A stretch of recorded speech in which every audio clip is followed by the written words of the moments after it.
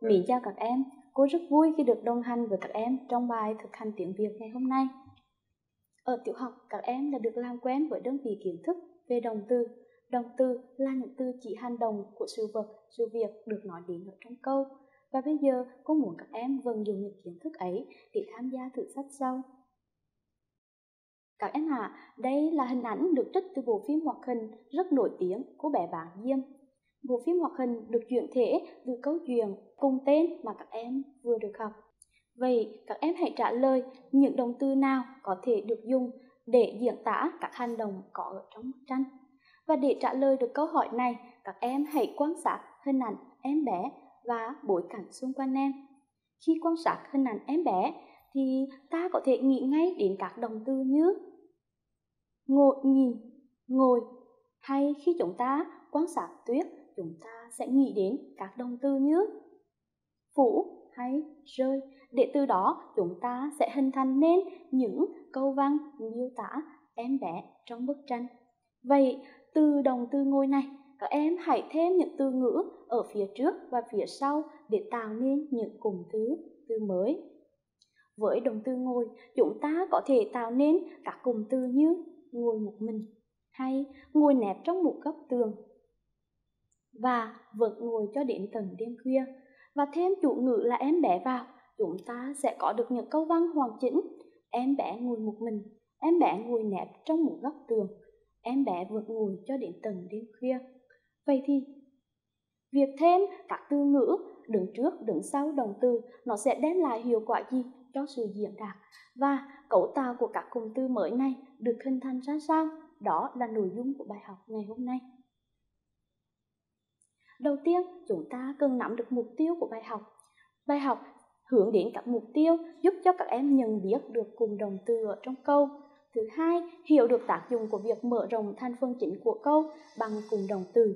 Thứ ba, biết mở rộng thành phần chính của câu bằng cùng đồng từ.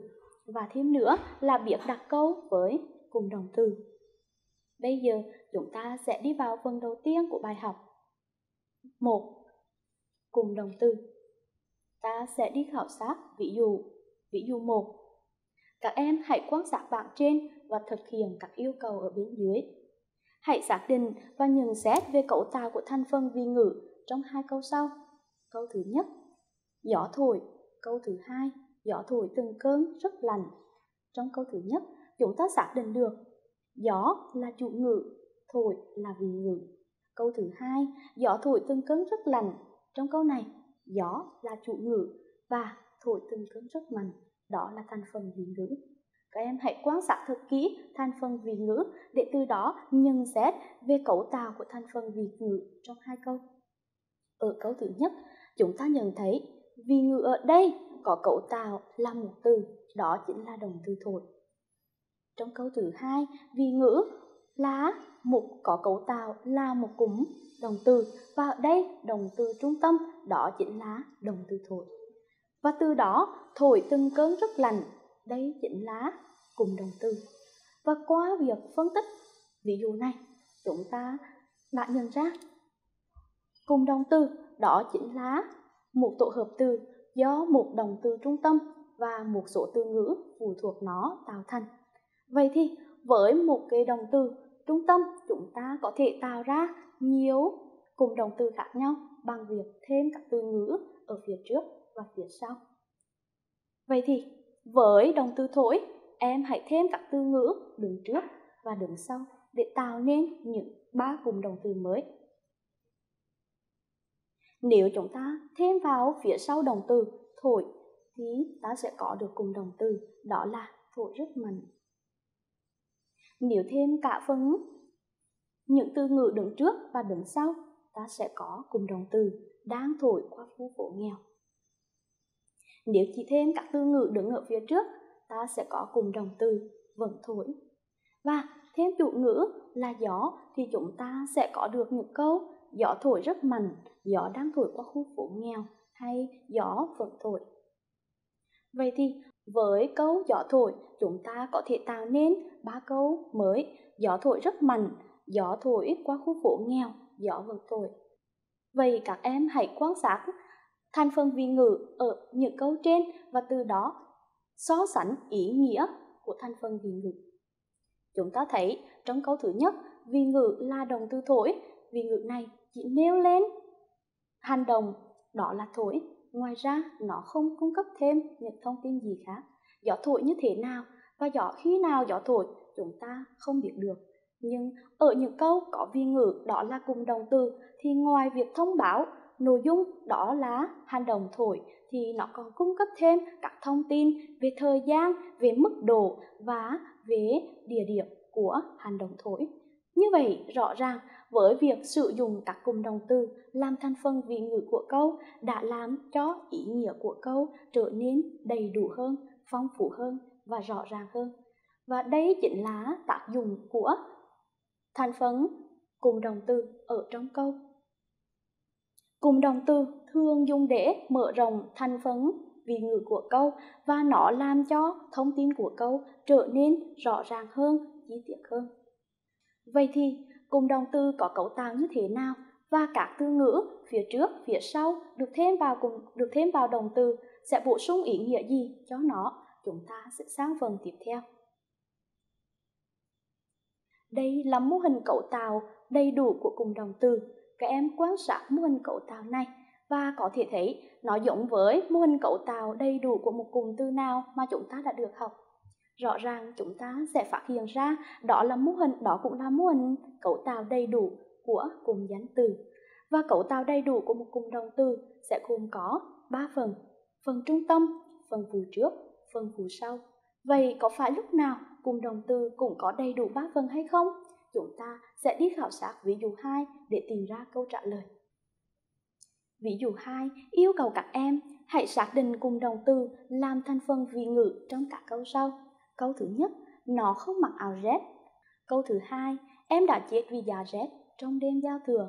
Câu thứ ba, tuyết phủ kín trên mặt đất.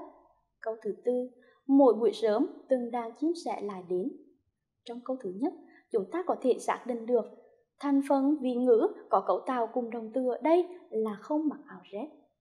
Câu thứ hai, ta có thể xác định được vị ngữ là đã chết vì dạ giá rét trong đêm giao thừa và vị ngữ cũng có cấu tạo là một cùng động từ. Câu thứ ba, tuyết phủ kín trên mặt đất. Vị ngữ ở đây chính là phủ kín mặt đất và nó cũng được cấu tạo từ một cùng động từ. Câu thứ tư, mỗi buổi sớm từng đàn chim sẻ lại đến. Ta xác định mỗi buổi sớm là thành phần trạng ngữ của câu. Từng đàn chim sẻ đó chính là thành phần chủ ngữ và ở đây vì ngữ lại đến cũng có cấu tạo là muốn cùng đồng tư. Vậy sau khi đã xác định được thành phần vị ngữ được cấu tạo từ một cùng đồng từ, các em hãy đưa các cùng đồng từ đã xác định vào mô hình cấu tạo của cùng đồng từ và nêu lên ý nghĩa của các thành phần phụ. Chúng ta sẽ lần lượt đi tìm hiểu các cùng đồng từ. Câu thứ nhất, với cùng đồng từ không mặc áo rét, thì ở đây động từ trung tâm đó chính là động từ mặt Và trước từ mặt ta xác định được không chính là thành phần phụ trước. Và sau từ mặt là từ áo rét, đây chính là phần phụ sau. Trong câu thứ hai, cùng với cùng đồng từ đã chết vì giá rét trong đêm giao thừa, chúng ta xác định được chết đây chính là động từ trung tâm và đã chính là thành phần phụ trước. Vì giá rệt trong đêm giao thừa, đây chính là thành phần phù sau. Câu thứ ba, tuyết phủ kín trên mặt đất. Trong câu này, với cùng động từ phủ kín trên mặt đất, ta xác định phủ chính là động từ trung tâm và kín trên mặt đất đó chính là thành phần phù sau. Câu cuối cùng, mỗi buổi sớm từng đàn chim sẻ lại đến với cùng động từ lại đến thì đến ở đây chính là động từ trung tâm và lại đó chính là thành phần phụ trước. Sau khi phân tích cấu tạo của từng cụm động từ, chúng ta có được bảng sau. Trong bảng này, các em chú ý cho cô, mặc, chết, phú và đến, đó chính là những động từ. Và những động từ này thường nằm ở vị trí trung tâm. Đứng trước động từ là những từ ngữ như không, đã, lại và sau những động từ này là những từ như áo rét, vì giá rét trong đêm giao thừa hay kín trên mặt đất. Vậy thì ở đây từ không sẽ bổ sung ý nghĩa gì cho động từ mặc Không ở đây là bổ sung ý nghĩa về sự phủ định. Và ngoài từ không ra thì khi bổ sung ý nghĩa về sự phủ định, chúng ta còn có thể sử dụng những từ ngữ khác như chưa hay là chẳng. Từ đã bổ sung ý nghĩa về thời gian và ngoài từ đã ra thì chúng ta còn có những cái từ ngữ khác như đang và sẽ bổ sung ý nghĩa về thời gian ở hiện tại hay là tương lai. Từ lại, bổ sung ý nghĩa về sự tiếp diễn của hành động đến. Và ngoài từ lại ra, chúng ta vẫn còn có những cái từ khác để thay thế, ví dụ như vẫn, cũng, vân vân. Và từ đây, chúng ta nhận ra những từ ngữ đóng vai trò là phần phụ trước sẽ bổ sung ý nghĩa về sự phủ định, về thời gian và và về sự tiếp diễn của hành động và ở phần phụ sau thì từ áo rét bổ sung ý nghĩa về đối tượng của hành động mặc.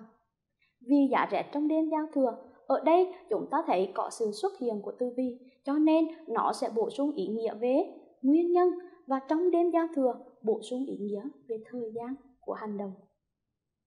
Kín trên mặt đất bổ sung ý nghĩa về đặc điểm và địa điểm của hành động từ đó, chúng ta có thể thấy thành phần phụ sau sẽ bổ sung ý nghĩa về đối tượng, về nguyên nhân, về thời gian, về đặc điểm, về địa điểm của hành động được nói đến. Và các em hãy quan sát thật kỹ mô hình cấu tạo của cụm động từ để trả lời câu hỏi đặt ra ngay từ phần đầu. Ví dụ, đó là có phải lúc nào cụm động từ cũng có đầy đủ ba phần hay không? Thì chúng ta nhận thấy trong một vài trường hợp thì cụm động từ không nhất thiết phải có đầy đủ ba phần. Ví dụ như ở trong cụm động từ phủ kín trên mặt đất, nó chỉ có thành phần trung tâm và thành phần phụ sau mà không có thành phần phụ trước. Hay trong cụm động từ lại đến, nó chỉ có thành phần trung tâm và thành phần phụ trước mà không có thành phần phụ sau. Do đó, chúng ta cần lưu ý. Ở đây, chúng ta nhận ra cấu tạo đầy đủ của một cụm động từ thường có ba phần. Và các em hãy chú ý cho cô, đó là từ ngữ đầy đủ. Các thành phần sẽ bổ sung ý nghĩa gì cho động từ? Phần phụ trước sẽ bổ sung các ý nghĩa về thời gian, về sự tiếp diễn, về sự phủ định hay khẳng định. Còn thành phần phụ sau sẽ bổ sung ý nghĩa về đối tượng, về đặc địa điểm, về thời gian, vân vân. Ở phần khởi động, chúng ta đã tìm được ba cụm động từ đó là đã ngồi có ro, ngồi nép trong một góc tường hay vẫn ngồi cho đến tầng đêm khuya. Vậy thì, ở đây các em hãy điền các cụm đồng từ trong những câu sau vào mô hình cụm đồng từ và nêu ý nghĩa của thành phần phụ. Các em hãy xác định đầu tiên là xác định đồng từ trung tâm và sau đó hãy quan sát những từ ngữ đứng ở phía trước đồng từ trung tâm và những từ ngữ đứng phía sau đồng từ trung tâm thì ta sẽ dễ dàng xác định được các cái từ ngữ đó vào bảng mô hình này. Ta sang câu thứ nhất. Em bé ngồi một mình thì với cùng đồng từ ngồi một mình. Ngồi chính là đồng từ trung tâm và một mình ở đây chính là thành phần phụ sau. Câu thứ hai, em bé ngồi nẹp trong một góc tường. Với cùng đồng từ ngồi nẹp trong một góc tường thì ngồi lá phần trung tâm và nẹp trong một góc tường, đó chính là thành phần phù sau. Câu thứ ba, em bé vẫn ngồi cho đến tầng đêm khuya. Vậy thì ở đây, ngồi vẫn đóng vai trò là động từ trung tâm và trước động từ ngồi chúng ta thấy có sự xuất hiện của từ vẫn. Và sau động từ ngồi đó là những từ ngữ cho đến tầng đêm khuya. Vậy thì sau khi phân tích cấu tạo của cùng động từ này thì chúng ta có bảng trên. Vậy thì từ vận đứng trước động từ ngồi sẽ bổ sung ý nghĩa gì cho động từ? Từ vận bổ sung ý nghĩa về sự tiếp diễn của hành động. Còn một mình bổ sung ý nghĩa gì cho động từ ngồi? Nó bổ sung ý nghĩa về đối tượng của hành động. Và nép trong một góc tường bổ sung ý nghĩa về đặc điểm, về địa điểm của hành động. Cho đến từng đêm khuya, bổ sung ý nghĩa về mặt thời gian Do đó các em thấy rằng với một câu em bé ngồi, chúng ta mới chỉ biết được hành động của em bé, đó là ngồi, nhưng bằng việc thêm các từ ngữ đứng ở phía trước, phía sau động từ ngồi để tạo nên cùng động từ thì rõ ràng ý nghĩa của câu đã trở nên đầy đủ hơn, rõ ràng hơn và nó phong phú hơn. Như vậy, chúng ta vừa tìm hiểu cấu tạo của cùng động từ cũng như ý nghĩa của các thành phần phụ bổ sung ý nghĩa cho động từ. Bây giờ, cô muốn các em vận dụng các kiến thức ấy để giải quyết các bài tập ở sách giáo khoa. Đầu tiên, đó là bài tập 1. Bài tập 1. Tìm một cụm đồng từ trong truyện gió lành đầu mùa. Từ đồng từ trung tâm của cụm từ đó, hãy tạo ra ba cụm đồng từ khác. Thì để làm được bài tập này, các em phải xác định được yêu cầu của bài. Bài có những yêu cầu nào? Đầu tiên, đó là yêu cầu chúng ta tìm một cụm động từ có trong văn bản. Thứ hai, đó là xác định động từ trung tâm trong cụm động từ đó và từ động từ trung tâm trong cụm động từ đó chúng ta tạo ra ba cụm động từ khác. Sau khi đã nắm được yêu cầu của bài tập, các em hãy quan sát ở sách giáo khoa để tìm ra những cụm động từ có trong văn bản. Vậy thì ngay ở trang 71, kém chú ý đoàn đối thoại giữa Vũ Ba Vũ Gia với Sơn. Mời tôi đâu hạ Vũ, dì Lan và cậu cứ ăn cơm trước đi. Trong câu thứ nhất, đó là lời hỏi của Sơn và trong câu thứ hai, đó là lời đáp trả của bà Vũ Gia. Thì trong lời đáp trả của bà Vũ Gia, ta nhận ra cùng đồng từ ở đây đó là cứ ăn cơm trước đi. Và trong cùng đồng từ này, chúng ta phát hiện ra ăn đó chính là đồng từ trung tâm. Trước từ ăn là từ cứ và sau từ ăn đó là những từ cơm trước đi. Và với từ ăn này, chúng ta hãy thêm các từ ngữ để tạo ra ba cùng đồng từ mới. Chúng ta có thể thêm vào những từ ngữ ở phía trước và phía sau đồng từ ăn để tạo nên cùng đồng từ đã ăn no đến căng bụng. Hay chúng ta có thể thêm vào ở phía sau những từ ngữ như ở nhà hàng để tạo ra cùng đồng từ ăn ở nhà hàng. Vậy thì những từ ngữ như ăn ở nhà hàng được thêm vào nó bổ sung ý nghĩa về địa điểm diễn ra hành động ăn. Hay vẫn chưa ăn Tiếp theo, đến trang 67, à, chúng ta sẽ phát hiện ra câu Sơn và chị chơi cỏ gà ở ngoài cánh đồng còn thấy nóng bức chảy mồ hôi. Trong câu này, chúng ta có thể xác định được những cùng đồng từ đó là chơi cỏ gà ở ngoài cánh đồng. Rồi thêm một cùng đồng từ nữa đó là con thấy nóng bức và chảy mồ hôi. Như vậy, trong câu này có đến ba cùng đồng từ và nếu chúng ta lấy cùng đồng từ đó là chơi cỏ gà ở ngoài cánh đồng thì chơi đó chính là đồng từ trúng, trúng trung tâm. Và phần phụ sau đó là cỏ gà ở ngoài cánh đồng. Và trong cùng đồng từ này không có thành phần phụ trước. Vậy với đồng từ chơi chúng ta có thể tạo ra ba cùng đồng từ mới. Đó là đáng chơi vui vẻ hay chơi từ khi thức dậy cho đến lúc chiều ta hay chơi trộm tìm. Như vậy, với những bài tập này thì các em lưu ý cho cô đó là chúng ta có thể thêm các từ ngữ ở phía trước và phía sau đồng từ để tạo nên các cùng đồng từ mới. Cô nghĩ rằng bài tập này không phải là quá khó đối với các em, phải không nào? Ta sang bài tập 2. Bài tập 2, tìm cùng đồng từ trong những câu sau, xác định đồng từ trung tâm và ý nghĩa mà động từ đó được bổ sung. Vậy thì cũng giống như bài tập 1, để làm được bài tập 2, chúng ta hãy xác định yêu cầu của bài. Yêu cầu thứ nhất đó là các em hãy tìm động từ có trong câu. Yêu cầu thứ hai đó là xác định động từ trung tâm có trong động từ đó. Và thứ ba đó là nêu ý nghĩa mà động từ đó được bổ sung. Trong bài tập 2 đã đưa ra cho chúng ta ba câu. Câu thứ nhất, nhìn ra ngoài sân, Sơn thấy đất khô trắng. Thì trong câu này, chúng ta sẽ phát hiện ra có hai cùng đồng từ, đó là nhìn ra ngoài sân và thấy đất khô trắng. Trong cùng đồng từ thứ nhất thì nhìn là đồng từ trung tâm và ra ngoài sân, đó chính là thành phần phụ sau. Và thành phần phụ sau được thêm vào đồng từ để bổ sung ý nghĩa về hướng và địa điểm cho hành động nhìn. Trong cụm động từ thứ hai, thấy đất khô trắng thì thấy chính là động từ trung tâm và phần phụ sau đất khô trắng bổ sung ý nghĩa về đối tượng của hành động nhìn. Ta sang câu B. Mẹ Sơn lật cái vị buồm, lục đống quần áo rét. Trong câu này, ta cũng phát hiện ra có hai cụm động từ. Cụm động từ thứ nhất đó là lật cái vị buồm và cụm động từ thứ hai đó là lục đống quần áo rét. Và với cụm động từ thứ nhất thì lực, lá, động từ và cái vị buồm là thành phần phụ ở phía sau. Thành phần phụ này bổ sung ý nghĩa về đối tượng của hành động lực.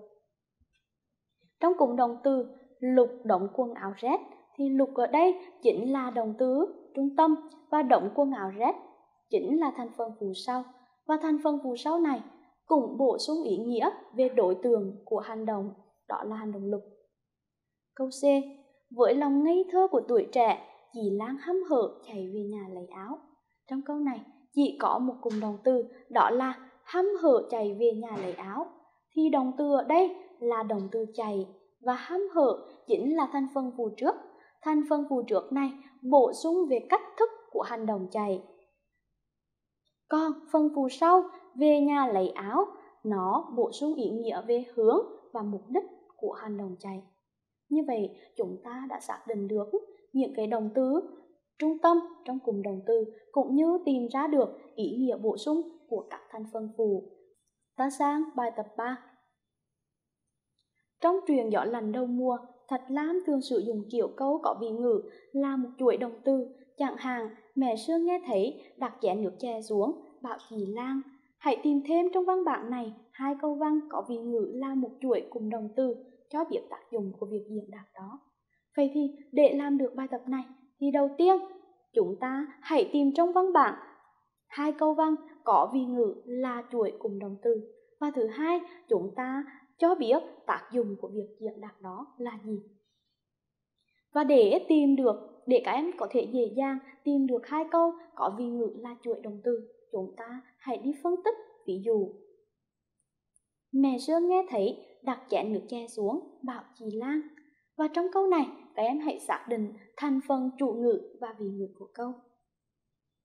Thì ở đây, chủ ngữ đó chính là mẹ sơn và vị ngữ. Nghe thấy đặt chén nước đè che xuống, bảo chị Lan.